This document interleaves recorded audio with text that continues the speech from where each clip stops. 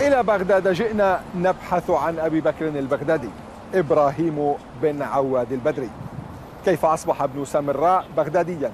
وكيف تحول إمام المسجد إلى خليفة بنظره ونظر أتباعه؟ وكيف أضحى معتقل سجن بوكا الأمريكي؟ أخطر إرهابي في العالم. أهلا بكم.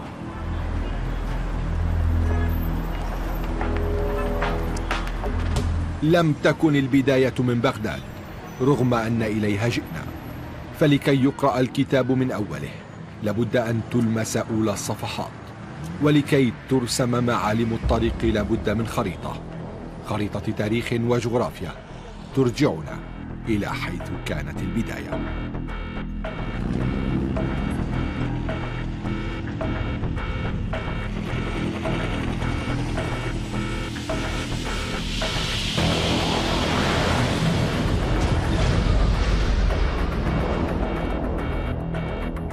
ذكريات الحرب تقول إن هذه البلدة التي تقع على بعد 500 كيلومتر من بغداد كانت أول من واجه الغزو الأمريكي في عام 2003 ميناء أم قصر.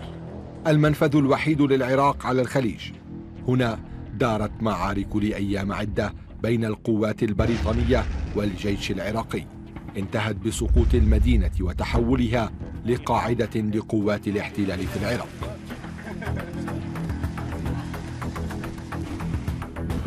سيطرت القوات البريطانية بالكامل على المنطقة ووضعت يدها على منشأة أسمتها معسكر فريدي. جعلته مكانا لاعتقال أسرى الحرب قبل أن يتسلمه الجيش الأمريكي ويغير اسمه إلى كامب بوكا. تخليدا لذكرى رونالد بوكا الشرطي ورجل الإطفاء الذي قتل خلال هجمات الحادي عشر من أيلول سبتمبر عام 2001 في نيويورك. ولأن لكل شيء نصيبا من اسمه. أراده الأمريكيون نوعا من الغطاء المعنوي للمكان الذي استخدم لاعتقالات في إطار ما أسمته واشنطن حينها بالحرب على الإرهاب. كان بوكا هو خدمة جليلة أسدتها الحكومة الأمريكية إن صح التعبير وأسداها البيت الأبيض إلى جموع المجاهدين. وفرت لهم المناخ الآمن والطعام والشراب والكساء والنوم كما سمحت بدخول الكتب فوفرت بيئة مناسبة جدا إلى طلب العلم الشرعي والتغذي على كتب المقدسي والتغذي بعقيدة القتال. وكان هذا على مرأى ومسمع من الجنود الأمريكان ولم يكونوا يعني يبالون بشيء. كان فيها أفراد من من القاعدة كانوا يكونوا فيها يمارسوا أشد أنواع الدروس الفقهية ودروس الحديث والدروس التي من شأنها إذا ما تلقاها المكلف سيما إذا كان المكلف لا يمتلك قاعدة بيانات ولا يمتلك داتابيس ولا يمتلك ابتداء ذائقة حسية ومعرفة أدبية ومعرفة فقهية ومعرفة تاريخية أصلا بابتلاءاته العبادية القليلة. لكنه للمفارقة أضحى لاحقا عنوانا لمرحلة جديدة من الإرهاب لمرحلة صناعة الوحش الذي نما وكبر بين جدران معتقل أسس لعصر داعش. فتح اسمه بين عناصرها وقياداتها أكاديمية بوكا. كان بوكا حوى كثير من العناصر التي يشار إليها بالبنان ويعقد عليها بالخناصر. من أمثال آه، أبو معتز من أمثال أبو عبد الرحمن البيلاوي من أمثال كاكا مجيد من أمثال المتحدث الرسمي اللي هو أبو محمد العدناني. آه، كان في الكم السادس. آه، فكان حقيقة هناك عناصر عناصر ثقيلة الوزن عناصر لها بصمتها الواضحة في الساحة الجهادية. فكان يعني سجن بوكا هو النواة النواة الصلبة الدولة الإسلامية حسب آه، يعني مفاهيم ونظرية وأيديولوجية أبو بكر البغدادي. كان بوكا آه، قلت لك وفر البيئة المناسبة بحيث يتغذى المعتقل سنة أو سنتين على عقيدة القتال ثم يخرج وإذا به عبارة عن شعلة نارية عبارة عن قنبلة موقوتة تخرج صالحة آه، لأن تكون وقود حرب وأن تكون مسعر حرب. بل الذي يدخل إلى معتقل كان بوكا آه، وليس معه شيء من هذه العقيدة آه، يصادف ناس معهم هذه العقيدة فيعلموه ويفقهوه ويوجهوه وإذا به يخرج شعلة نارية يخرج شعلة نارية في هذا المعسكر الكبير سجن بين عامي 2004 و2006 إبراهيم بن عواد بن إبراهيم البدري المعروف بأبي دعاء. الشاب المولود في سامراء عام 1971 لم يكن بالنسبة للأمريكيين سجينا من الأكثر خطورة. لكنه في آن كان بحكم تخصصه في التجويد وعلوم القرآن قريبا من نزلاء المعتقل من خلال إمامته الجماعة وتأسيسه حلقات علم. سجن بوكا كان هو يعني البداية لزعامة أبو بكر, أبو بكر البغدادي في الظهور. يعني هو هذا الرجل آه، عنده دكتوراه في الشريعة الإسلامية كان يلقي محاضرات في سجن بوكا في السجناء ويحاول أنه تجنيدهم لنظريته. ونجح نجاحا كبيرا في هذا الإطار. حتى أنه الكثير من أركان الدولة الإسلامية في الوقت الحالي هم من زملائه الذين كانوا في سجن آه، بوكا. في بوكا ترسخ عنده الفكر الجهادي التكفيري السلفي. آه، تعرف بحج بكر آه، سمير عبد محمد الخليفاوي وتعرف بأبو مهند السويداوي وتعرف بأبي آه، أحمد العلواني تعرف بهؤلاء. هؤلاء وإن كانوا من أصول بعثية البعث العراقي لكنهم هؤلاء سرعان ما تحولوا في بدايات التغيير الذي حدث في العراق في عام 2003 أثروا به كثيرا وأثر بهم أيضا من جهة معرفته في علوم القرآن وهم أثروا فيه من جهة حماساتهم وفكرهم العسكري وخبراتهم الأمنية والعسكرية. تختلف وجهات النظر على دوره. فهناك من يقول إنه كان بمثابة الناظر الذي يدير شؤون وشجون المعتقلين. وهناك من يؤكد أنه لم يكن صاحب وزن هناك. شهادات متضاربة على الشخص ذاته في المكان ذاته في المرحلة ذاتها. أبي بكر البغدادي حقيقة هذا الاسم لم يكن اسما لامعا لكن هذا الاسم نراه قد أخذ حيزه وأخذ دوره الكبير من بعد أكاديمية بوكا بالذات أبو بكر البغدادي الكم السادس 2004 يعني لم يكن له أي شيء يذكر سوى أنه شيخ إبراهيم. يتقدم في الصلاة وتارة يخطب في الجمعة. النقطة الأخرى التقى أيضا بأنصار أبو مصعب الزرقاوي الذين كانوا في سجن بوكا وهذا الشخص الذي التقيته و لا أستطيع ذكر اسمه آه، يعني قال لي كان أصلا من من قيادات أبو مصعب الزرقاوي وهو اردني الجنسية. وهناك تعرف على أبو بكر البغدادي وهناك يعني حضر معظم الدروس الذي التي كان يلقيها. أنا في مرة من المرات كان عندنا ساحة واسعة في كامب بوكا في كم السادس، كم السادس قبل أن يكون كرفانات مفروزة. كان كرفانات مفتوحة ثم أصبح كرفانات مفروزة ومقطعة أصبح كم عقوبات. فشاهدت الرجل يلعب كرة القدم وإذا بالرجل يعني إمكانية هائلة جدا وبلغني أنهم كانوا يسمونه مارادونا في منطقتهم. كانت فترة بوكا كافية للبغدادي لنسج شبكة علاقات رتبت له لولوج مرحلة جديدة. أصبح إبراهيم بن عواد البدري أبا دعاء والأكاديمي الإسلامي تحول إلى عضو وإن غير ناشط في تنظيم القاعدة لكن ذلك لم يأتي من فراغ هي مرحلة أسس لها على امتداد سنوات خلت بين سامراء التي ينتسب إليها وبغداد وحيطوبشي. قصة طويلة. البغدادي يغلب عليه العزلة خاصة مع صلة الرحم وأقاربه وكان اجتماعيا قليل الاختلاط. آه، هو يضيف على نفسه سمة من السمات الأمنية. آه، قليل الكلام كثير الاستماع. آه، قليل الاختلاط. ربما يرجع السبب لكونه من بيئة فلاحة أو بيئة قروية فيستحي أن يختلط مع مجتمع مدني مثل بغداد. هو زوج لاثنتين ووالد لستة.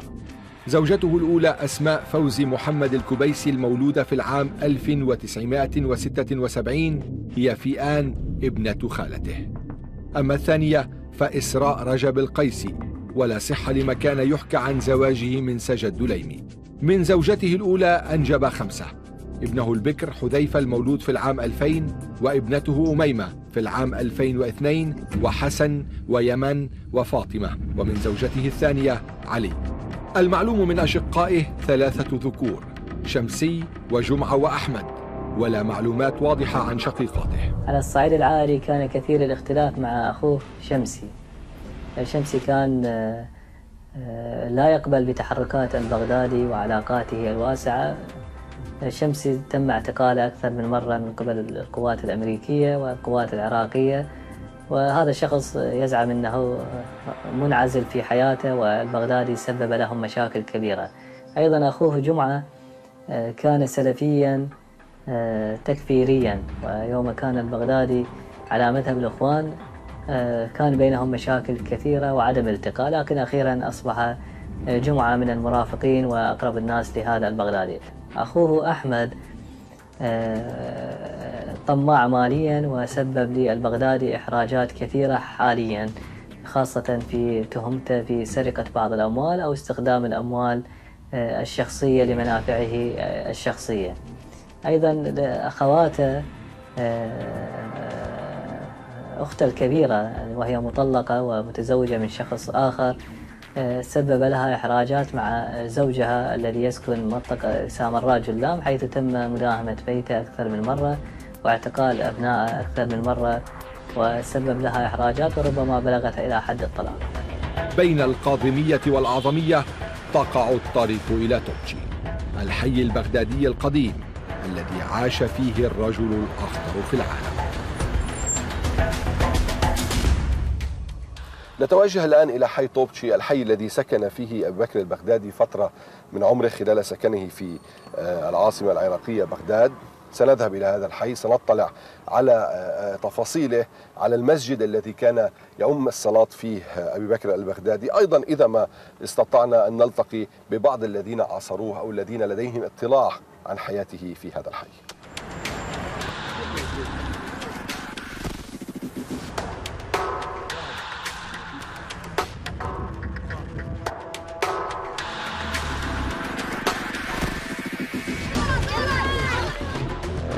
ليس بالأمر السهل أن تسأل عن البغدادي في بغداد.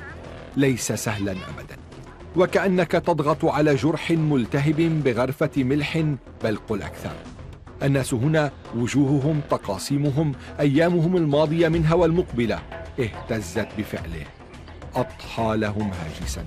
قل قدرا من الماضي يصارعون لنزعه عنهم لكنه لا يرضى الانسلاخ.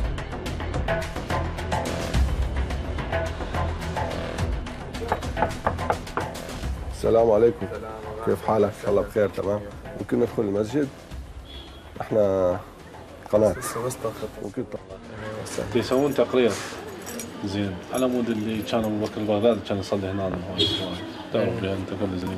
هو مزبوط كان يصلي في هذا المسجد؟ والله ما أدري. إحنا مين يعرف طيب؟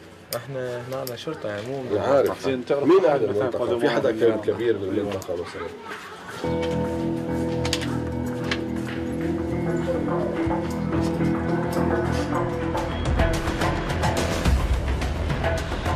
تحت قبة هذا المسجد كان خليفة داعش إماما للجماعة. مسجد حج زيدان يشهد لسنوات قضاها الرجل الصامت فيه وليس بعيدا عنه بضعة أمتار فقط منزل حواه ومن معه. كان لابد من زيارة مهما كانت المخاطر وإن انتهى بنا المطاف ضيوفا غير مرحب بهم. كيفك حاج؟ صحتك؟ مرحبا صحتك؟ وسهلا مرحبا نحن كنا جايين على الحي لهون عم نحاول إنه نستقصي حول أبو بكر البغدادي كان ساكن هون. أنا عارف موضوع خطير وموضوع بدكش توجع قديم. لا راسك. لا إحنا مو موضوع قديم هذا كانوا طلاب قديم هذا الحكي إيه. قبل 15 20 من 15 20 سنة. ما نعرف. ما نعرف. إحنا ما لا لا عارف عارف بس هو بشكل عام ما كان يحتاج تصور يا عمي ما يحتاج والله. والله ما أعرف. ها؟ ما أعرف. ما تعرف شيء حتى لو يعني يخافون ها؟ يخافون يعني يتجنبون. لأن قلت لك يعني صارت اعتقالات هنا هوايه وخاصة يعني على الشيخ أو غير الشيخ فيتجنبون هذا الشيء. السلام عليكم. ما راح يصورك ما راح ما عم ما يصور ما يصور. كيف صحتك؟ عم نشتغل موضوع عن أبو بكر البغدادي. ما عارف موضوع. ما نعرف. ما يعرفوا والله. ما ما شايفينه ولا مرة بالشارع ابدا. ابدا. لما كان يصلي بالمسجد ما نلتقي وياه إحنا ما نلتقي وياه صحيح هو يقول لي صلي هنا بس ما نلتقي وياه ما نلتقي وياه نعم. هو من كان هنا إحنا كنا جهال. إيه. لا صور اي إحنا كنا جهالي مو كبار يعني. كان يعني طالب هو مو آه، امام وخطيب جامع ولا هذا. كان طالب يقول كان طالب يدرس هنا. يدرس طالب ويدرس بالجامعة العراقية. وتخرج وانتهى الموضوع يعني. ما صار الاحتلال صار الاحتلال اختفى بعد ما حد ما حد الاحتلال اختفى. بعد الاحتلال اختفى ما حد شافه نهائيا. ولا مر بالطوب قبل السقوط كان قاعد هنا من ورا السقوط؟ راح. بعد اختفى ما شفناه انتهى موضوع انتهى الموضوع إذن. على الأقل بالنسبة لهم لكن آخر من خارج الجمع فتح بعيدا عن الكاميرا وبصوت خافت صفحات من الملف المغلق. جوا شوية جوا شوية مو وين كانوا وين كنتوا تلعبوا football؟ هنا ها؟ هاي هاي الساعة هاي؟ الساعة كلش كبيره كان يلعب معكم football ابو بكر إيه؟ إيه هنا ورا الشيخ هناك يلعب. إيه. نروح ساحات نلعب ساحات هذه. نلعب يعني عادي. إيه. يضوج اذا ما يقوي. إيه. لا قصدي بشخصيته كإنسان عادي. والله هو إنسان عادي يعني مو إنسان كان يعني عادي كل شيء. مو مو إنسان حالة حالك أنت. مم. شلون أنت؟ بالضبط.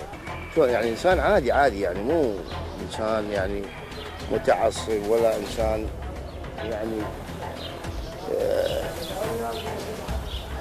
طبيعي إنسان طبيعي كلش طبيعي. وعاد من أغلق الموضوع أولا ليغلقه من جديد. طب برأيك ليش صار يعني هلأ تطور بهذا الإطار؟ غير احتلال. قاتل الأمريكان. من هو؟ اي ما نعرفه يعني والله لا نلتقي به ولا شاكين ولا نعرفه ولا نجيب سيرته ال- ال- البغدادي تأثر آه، عام 2003 بش- بشخصية عراقية آه، كانت تكتب للسلفية الجهادية معروفة بأبي محمد آه، المفتي العاني. هذه الشخصية تعتبر منظرة الجماعات التكفيرية الجهادية في العراق آنذاك. وأسس هو ومجموعة من جماعة أبو محمد آه، المفتي آه، ما يعرف بجماعة أهل السنة والجماعة آه، بعضها في في بغداد وقليل منها في مناطق الدور وسامراء خاصة منطقة جلام والحويش ومكيشيفة وهذه المناطق. بعد طوبشي كان السجن وبعد السجن بدأت رحلة أطول رحلة تنظيم القاعدة. كان أبو دعاء يرغب بالحصول على شهادة الدكتوراه. ولأن بغداد ما بعد السجن لم تعد كما كانت من قبل. قرر الرحيل باتجاه سوريا التي كانت حينها تحتضن المقاومة العراقية ضد الاحتلال الأمريكي. عرف أن وجوده هناك سيكون مريحا فقرر الاستقرار هناك لكتابة أطروحته. وفي آن للانخراط جديا في التنظيم الذي سيصبح لاحقا. أول وأبرز المنشقين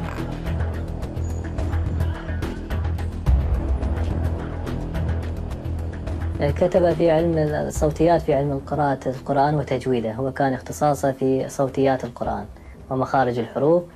آه، هذا الاختصاص آه، معروف في الجامعة الإسلامية التي تعرف حاليا بالجامعة العراقية. آه، اختصاص نادر وهو استطاع أن يحقق به درجات ممتازة بحكم أن والده كان ممن من الملات أو الملائيين الذين يعلمون القرآن في سامراء في جامع الإمام أحمد بن حنبل. فترة 2006 آه، يعني يعني الشهر الذي قتل فيه الزرقاوي هو أخذ فيه درجة الدكتوراه. آه، هذه الستة أشهر آه، حينما التقى بملا فوزي وملا فوزي عرفه على محارب عبد اللطيف الجبوري. محارب كان لديه سلطات. فرغه لطلب العلم آه، في في لكتابة الأطروحة في سوريا. كان يساعد في المجال الإعلامي. بعد نيله شهادة الدكتوراه. آه، أرجع مرة أخرى إلى سوريا. وهذه المرة يساعد في ملف آه، المضافات إعداد المهاجرين آه، العرب والأجانب آه، في مضافات سوريا. وكان مساعدا لشخصية مع- معروفة بأبو الغادية العراقي آه، آه، آه، أبو الغادية العراقي اللي هو آه، آه، بدران آه، بدران تركي هيشان الشعباني. آه، هذا الأمريكان يقول قتلناه داخل الحدود السورية. لكن الصحيح آه، أنه كا- بقي معتقلا عند الأمريكان وحولوا ملفه إلى العراق وهرب يوم 21 7 2013 من سجن أبو غريب رجل الظل لم يبرح مكانه في الظل. ربما ساعده ذلك كثيرا على القفز فوق الحواجز التي كان بالإمكان أن تعوق تقدمه المريح من صف إلى صف إلى رأس الصفوف. احترف الدكتور إبراهيم عملية حياكة سجادة بساط الريح التي ارتفعت به داخل صفوف التنظيم. وطد ثقة القيادة به وعرف كيف يستفيد من مكانة رفاقه محولا إياهم بعلمه أو بدون علم إلى لوبي داخلي فرضه على الجميع رغما عن الكثير وبرغم أنه لم يكن قد مضى عليه في التنظيم زمن طويل.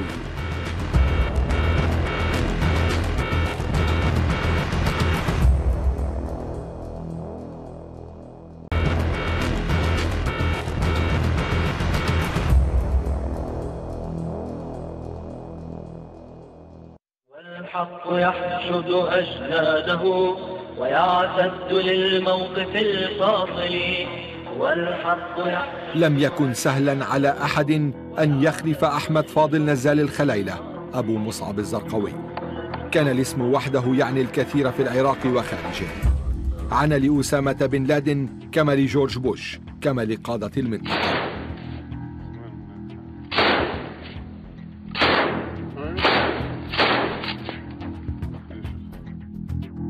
نظر الزرقاوي لقتل كل من هو مخالف ولأولوية قتال أعداء الداخل قبل الأمريكيين.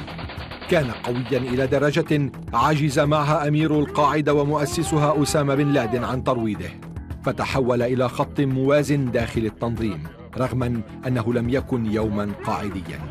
فابن الزرقاء الأردني جاء إلى العراق إبان الغزو الأمريكي منضويا تحت لواء تنظيم أنصار الإسلام بقيادة الملا كريكار.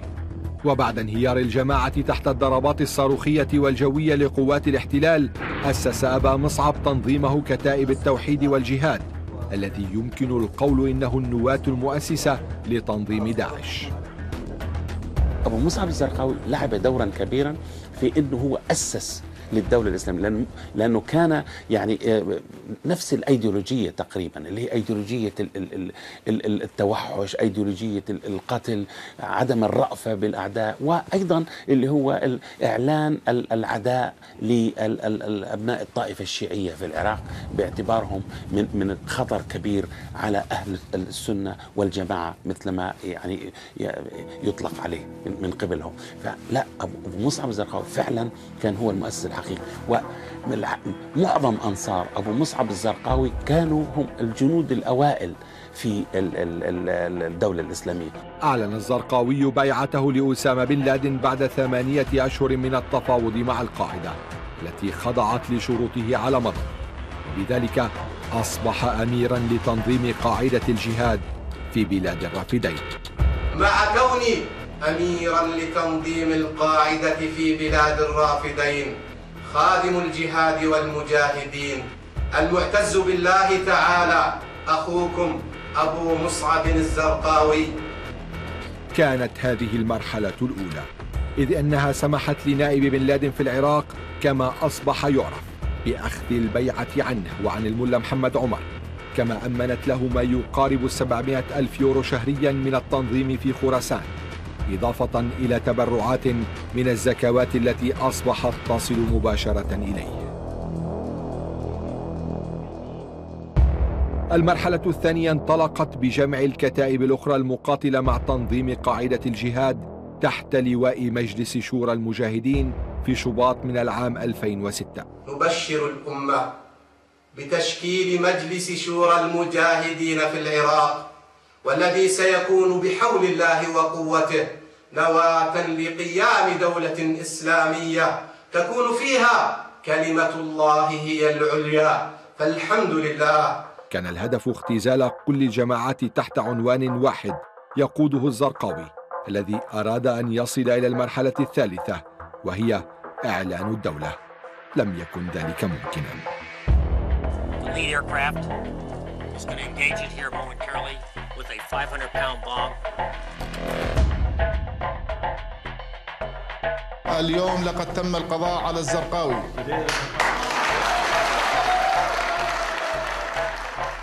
Now Zarqawi has met his end. And this violent man will never murder again. ماذا كان رأي البغدادي في الزرقاوي؟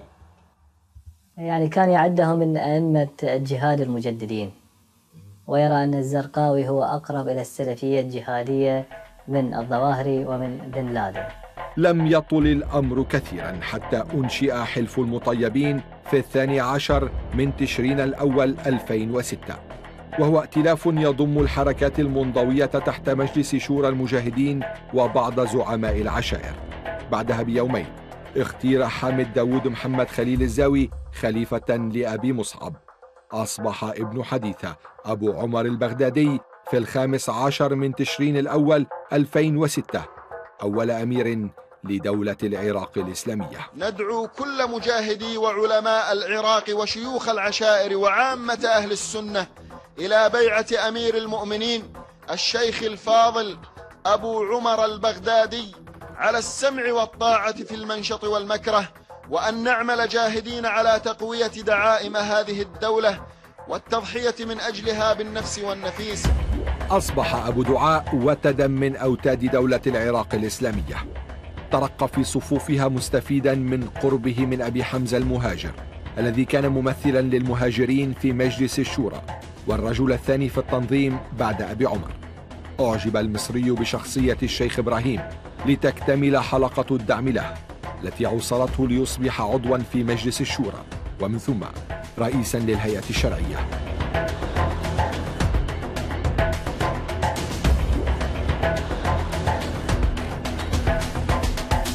علاقة البغدادي بأبي عمر البغدادي. لم تكن مباشرة في أول تسلم أبو عمر البغدادي إمارة العراق. تدرج البغدادي بين شرعي لديالة ثم عضو في الهيئة الشرعية للأنبار ثم عضو في مجلس شورى تنظيم الدولة الإسلامية في العراق التي كان يقودها أبو عمر البغدادي. أبو بكر البغدادي من كان يسمى أبو دعاء. قلت لك التنظيم الإداري أو الهيكلية التنظيمية لتنظيم القاعدة يعتمد على نظام الولايات ولكل ولاية والي. وكذلك أكو بعض اللجان الخاصة بالوالي مثلا فترة من فترات مجلس عسكري لأنه مر مر بمراحل الدولة الإسلامية مرت بمراحل. كان أكو شخص يسمى منسق الولايات أو المنسق أو لجنة اللجنة التنسيقية اللي في بعض الأحيان أو في كثير من الأحيان يسمونها عناصر تنظيم اللجنة التنسيقية المباركة. دور هذه اللجنة التنسيقية هي الحلقة الوسط أو الحلقة الرابطة بين الولاة اللي لدولة لداعش في العراق والإمارة؟ خوفا على سرية وأمنية الخاصة بأبو عمر البغدادي وأبو حمزة. يتم الاتصال بين الإمارة التنظيم والولاة من خلال هؤلاء اللي هم يكونون يعرفون في كل صغار وكبار يبلغون تبليغات اللي تصدر من الإمارة إلى الولاة وكذلك يأخذون البريد والمواقف والمشاكل وإلى غيرها تصل إلى أبو بكر البغدادي إلى أبو عمر وأبو عمر أنطى بعض الصلاحيات لهذه تعيين الولاة الإشراف الإقالة المحاسبة الكذا. كان أبو دعاء أحد هؤلاء أو أبرزهم اللي هم لم يتجاوزوا ثلاث أشخاص في أحسن حالاتهم. في هذه المرحلة دخل دائرة الضوء بالنسبة للاستخبارات العراقية التي وضعته على لائحة ملاحقتها وبدأت تنظر إليه كهدف دسم وإن كان لا يتصدر أولوياتها. ثم كانت عملية وثبة الأسد.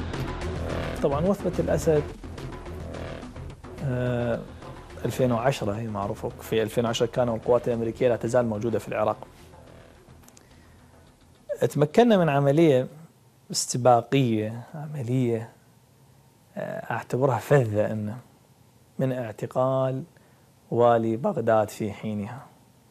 مشهور شخصية من الشخصيات المشهورة اللي كان أيضا قابع في سجن بوكا لفترة تقريبا خمس سنوات أو أربع سنوات وإلى صيته في سجن بوكا اللي هو مناف الراوي اعتقلنا مناف الراوي يعني أنا صراحة ما يحضرنا التاريخ الاعتقال بالضبط ولكن أتذكر بين اعتقال مناف الراوي وبين الوصول إلى أبو مصعب إلى أبو عمر البغدادي هي 45 يوم. تعتبر فترة قياسية.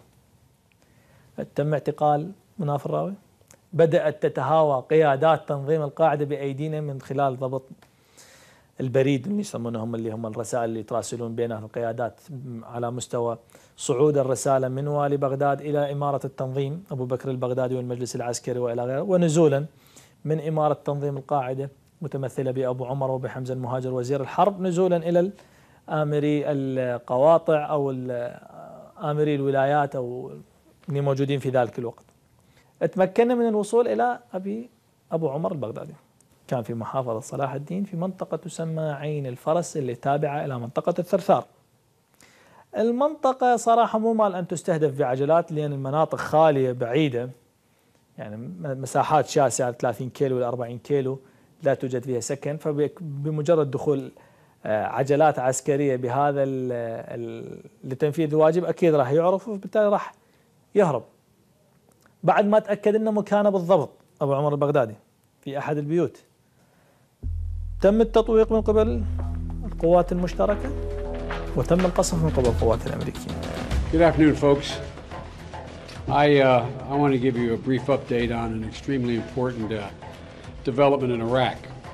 Early this morning on, uh, early in the morning October 18th, Iraqi security forces, with the support of U.S. forces, killed the two most senior leaders of Al Qaeda Iraq during a series of joint security operations near Tikrit. Abu Ayyub al Mazari and Abu Umar al Baghdadi, the former leaders of AQI.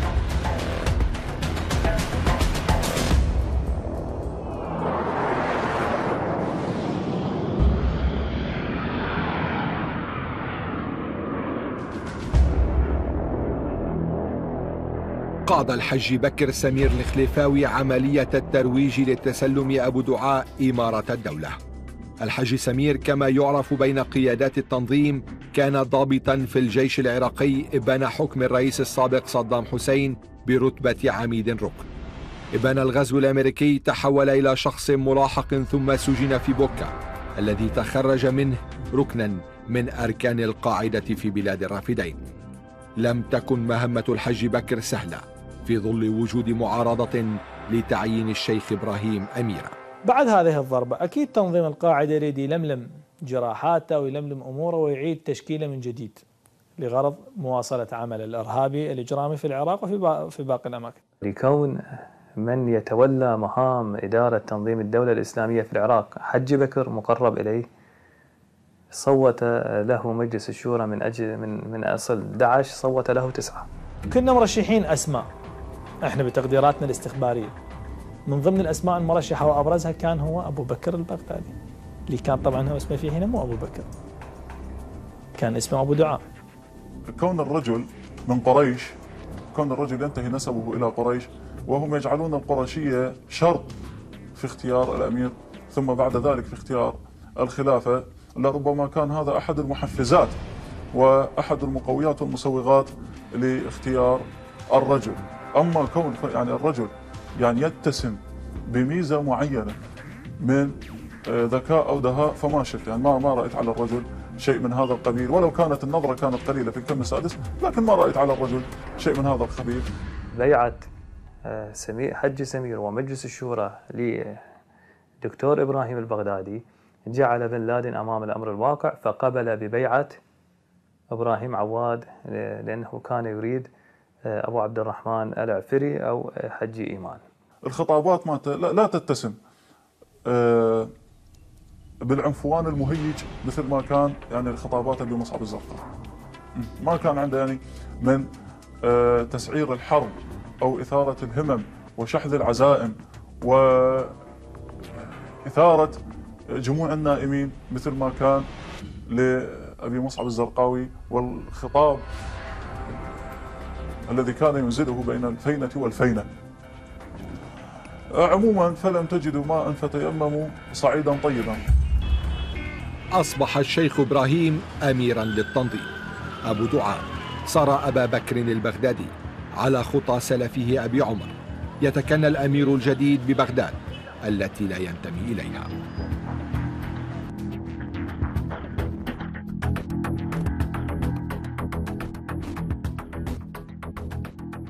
على طريقة آه، الملائية وطريقة المشيخة الغير أكاديمية في في في بغداد أنه من طلب العلم لأربع سنوات أو خمس سنوات في مدينة ما وإن لم يسكنها وإن لم يكن وليدا منها أو ليس له نسبا فيها يصح له أن ينسب إلى تلك المدينة.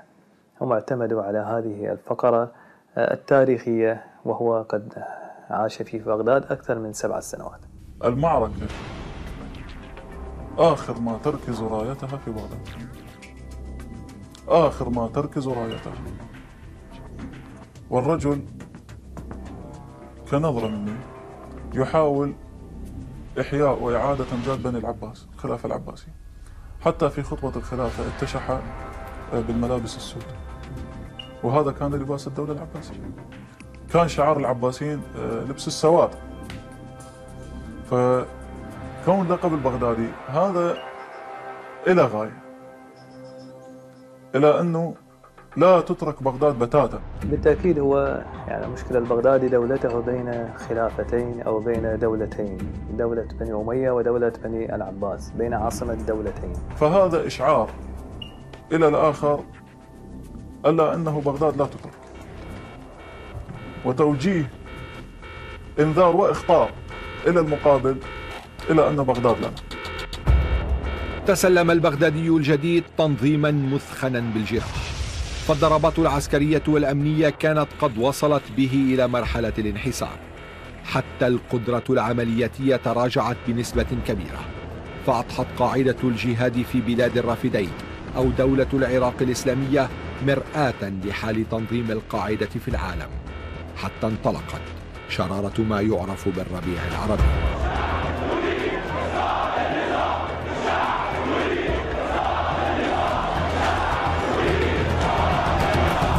مثلت أحداث سوريا نقطة تحول كبيرة في مسار التنظيم. كانت بنظر البغدادي ومن حوله فرصة لإعادة نفخ الحياة في التنظيم المشارف على الموت. قتل الشيخ أوسامة بن لادن في عملية أمريكية في باكستان.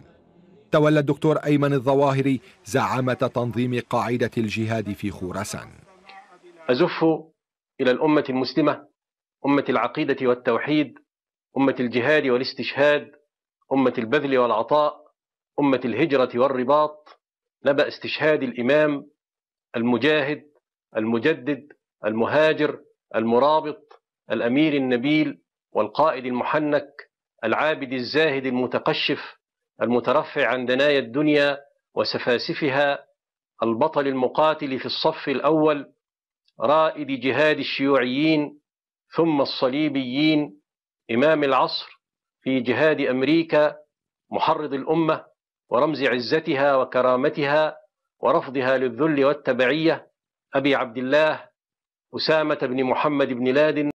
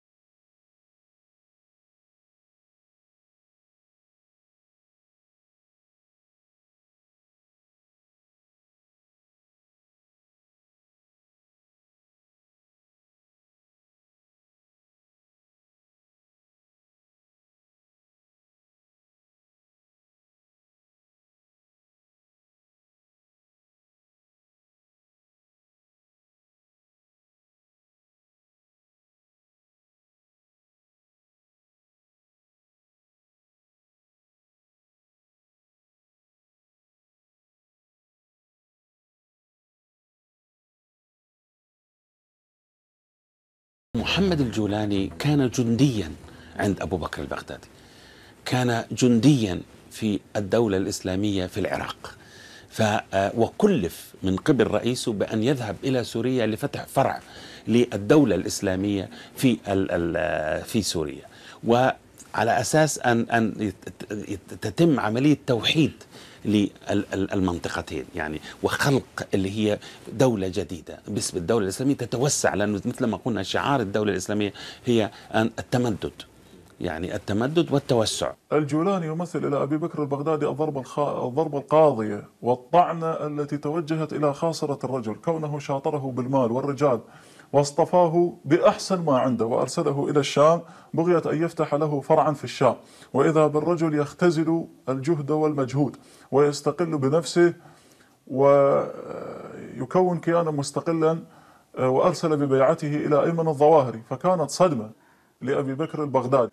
عندما ذهب إلى هناك وجد أنه يعني يريد أن يستقل بنفسه. ويريد أن يتبع تنظيم القاعدة لا أن يتبع تنظيم الدولة الإسلامية. وهنا حصل الخلاف. يعني النقطة الأخرى أنه أبو محمد الجولاني أراد أن يكون التنظيم أو جبهة النصرة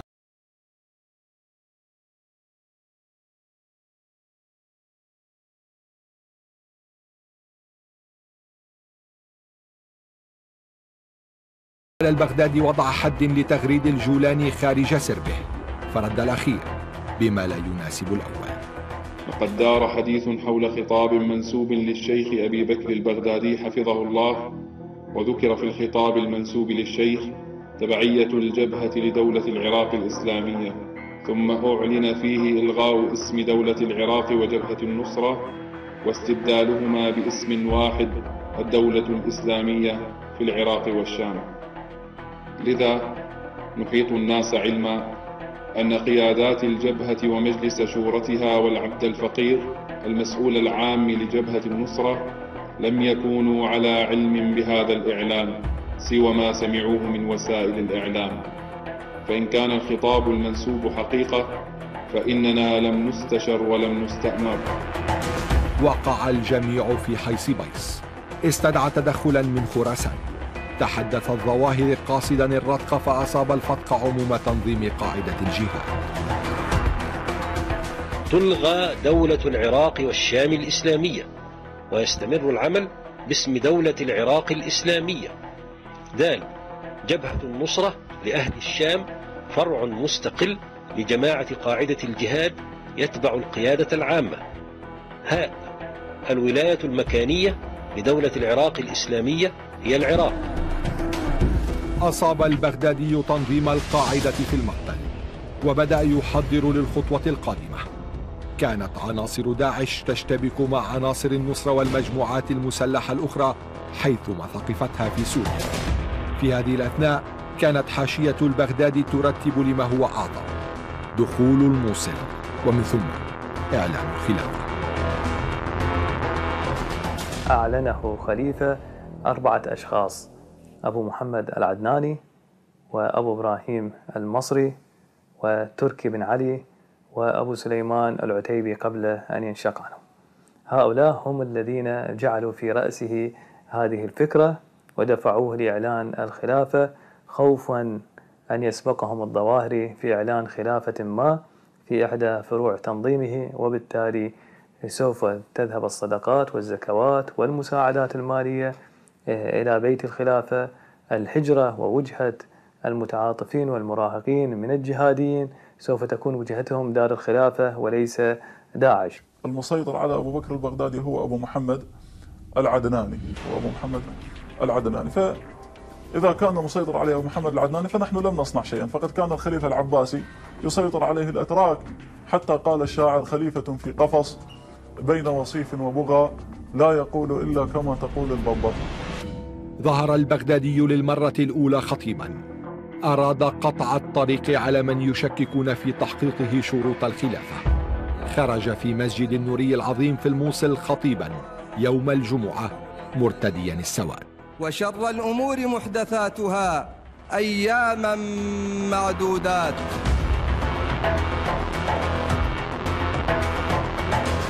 أصبح البغدادي على رأس لوائح الإرهاب. الاستخبارات العراقية كثفت من جهودها لاصطياده.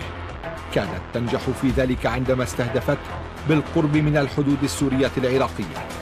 تفاصيل تروى للمرة الأولى على وسيلة إعلامية تحديدا يوم 8 11 2014 وهو كان في مدينة القائم كان في كان أكو اجتماع. الاجتماع كان جايين به ناس عرب الجنسية وأجانب كذلك قادمين من سوريا من البوكمال لأبو بكر البغدادي لغرض إعلان المبايعة إلى الرسمية. ومتابعين متابعة حقيقية متابعة حقيقية عراقية بحتة كذلك أقول عنها. فكان الاجتماع بأعداد كبيرة قادمة بأسماء إرهابية كبيرة. آه، كان الاجتماع في أحد المؤسسات الحكومية في تلك المنطقة. تحديدا خلينا نقول روضة أو مدرسة من المدارس اللي موجودة في مدينة القائم. حددنا ساعة الصفر حتى لا يكون عندنا ضياع للعملية والمتابعة واستهدفنا مكان الاجتماع الله وفق بنجاح الضربة وأسقاط عدد كبير من الإرهابيين اللي موجودين بحسب الشهود العيان اللي موجودين بذاك المكان. بس للأسف اتاكد لنا أنه أبو بكر البغدادي انصاب ولم يقتل وكانت الإصابة مالته في مكانين.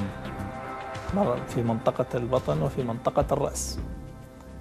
ونقل إلى مستشفى خارج أول تلقى علاجات أولية داخل مدينة القائم ثم انتقل إلى مستشفى جت مجموعة إرهابية كذلك من داخل الحدود السورية منطقة البوكمان نقلت أبو بكر البغدادي إلى احدى المستشفيات هناك لغرض المعالجة وتأمين على حياته لأن خوفا عليه أنه يتم استهدافه مرة أخرى في مدينة القائم من قبل القوات العراقية. لم تكن هذه المحاولة الأولى ولن تكون الأخيرة. هكذا يقول أهل الأمن في العراق. لكن البغدادي أصبح بعدها أقل قدرة على الحركة وأكثر حذرا في الظهور. لذلك هو يستخدم التمويه يستخدم التضليل لا يبقى ولا يبقى يعني يمكث في مكان أكثر من يوم واحد. هو كثير الترحال هو كثير التنقل هو كثير تغيير الأماكن هو لا يثق بأقرب الناس إليه. باتت وشيك النهاية. إضعاف كامل لهم. قتل قيادات كبيرة من عندهم. أبو بكر البغدادي هو أقوى من بقي. أقوى من بقي من دولة من داعش. وبقى بعض الأسماء القديمة. بقوا اثنين أو ثلاثة ولكن لا أحد مثل أبو بكر البغدادي.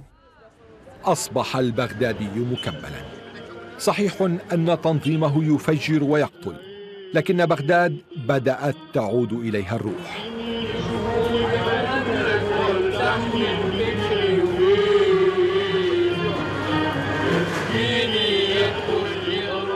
عادت الشوارع عامرة بأهلها ودجلة يرقص برواده ليست الصورة مثالية فالدخان لا يزال يلوث سماء العراق لكنها تبقى أفضل بكثير مما أرادها خليفة داعش وتنظيمه.